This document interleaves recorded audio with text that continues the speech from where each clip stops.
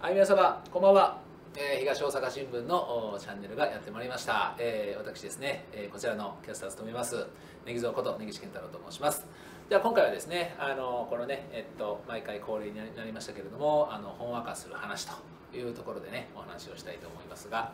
えー今日はですねあのテーマはなんだっけあのそう体はから体は心のキーボードかな？そんな感じでねあのテーマでお話をさせていただきたいと思います。あの皆さん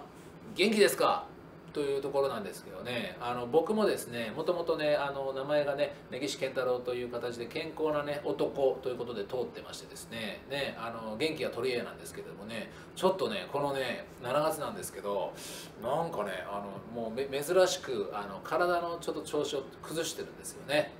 あの7月の初めにね、えっと、ちょっと風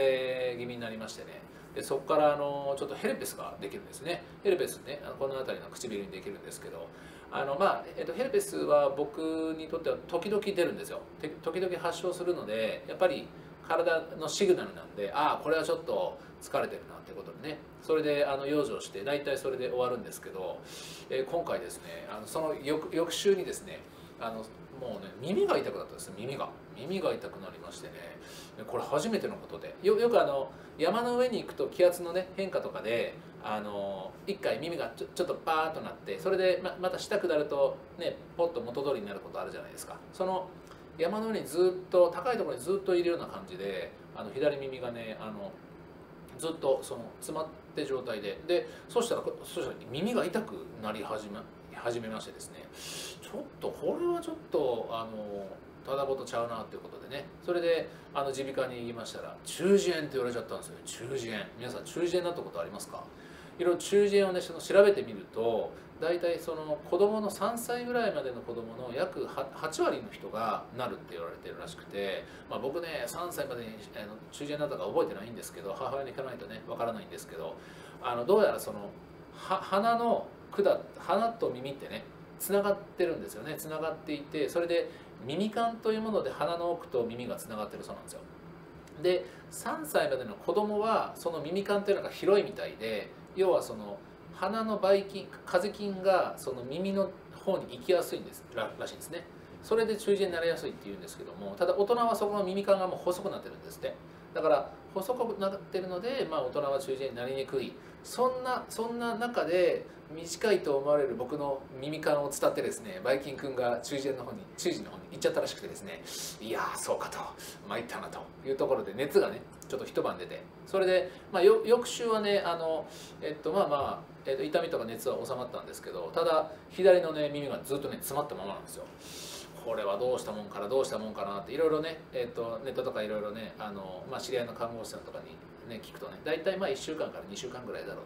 という話だったんだけれども2週間経ってもね一緒なんですよ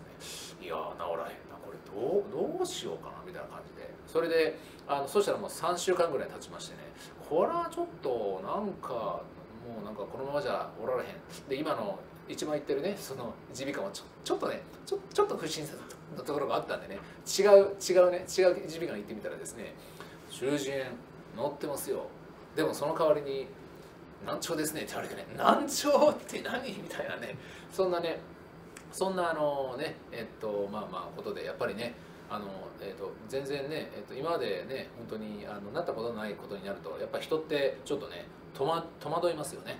で戸惑ってちょっとね今ねあのまたちょっと治療中ではあるんですけどまああのまあ今まで本当にね直近の私のこういったねちょっと体のことをお伝えをしたんですけどやっぱりそのねよく言いますよね。ストレスとかいろんなから心のね心の心心のその持ちようとか心の状態って体に現れるってねやっぱりあのよく言いますけどでもそれはやっぱり間違いないと思いますしであのやっぱり、まあ、僕もね日頃本当にねもうまあ元気なわけなんですけどやっぱりねちょっと体がね不調がずっと続くとねちょっとねやっぱりね自分の中でも元気さがちょっとねダウンするんですよね。これちょっと俺最近元気ねえんじゃねえかみたいなそんな風なことを考えたりするのでやっぱりもう体と心って本当にあのつながっているからあのどっちか先どっちが先かということはないですけどあのねえっとやっぱりあの心を保つためにはやっぱ体もね保たないといけないしあの本当にあの両輪なのかなというふうに思いましたよね。だから、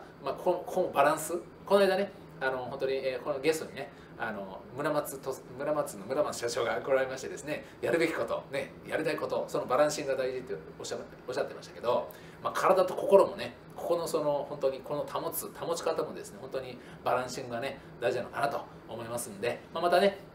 えっと、次回の、えっと、チャンネルではねまたねえっともう身を治ったネギ像で登場したいと思いますのでこうご期待ということであの本日はあかからとん？体は心のキーボードかな？そそんなねテーマでお話をいたしました。ありがとうございました。